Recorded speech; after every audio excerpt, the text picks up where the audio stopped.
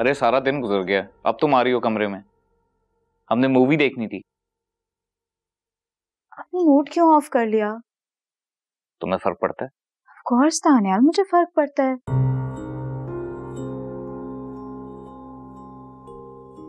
और अगर आपको कुछ चाहिए था आपने मुझे क्यों नहीं कहा? आलिया से क्यों कह दिया?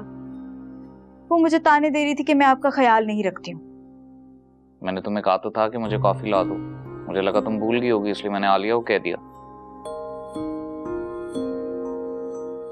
अच्छा लेकिन आइंदा अगर आपको कुछ भी चाहिए हो कोई भी काम हो आपने मुझसे कहने और किसी से नहीं। देखो फातिमा मियाँ बीवी का रिश्ता जो है वो चाय पानी पिलाने से या कपड़े इस्त्री करने से नहीं चलता।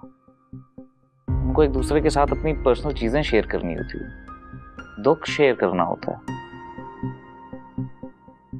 कान्याल आपको कोई दुख है तो आप मुझे बताएँ तो सही। तुमने कभी मेरे दुख को समझने की कोशिश की हो तो मैं कुछ कहूँगा। मुझे एक बार कह कर तो देखें। आपके लिए मैं अपनी जान भी दे दूँगी। अरे नहीं भाई मुझे तुम्हारी जान नहीं चाहिए। कातिल नहीं बनना मुझे।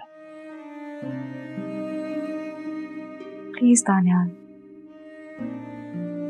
खुद को मुझसे गाफिल मत समझें।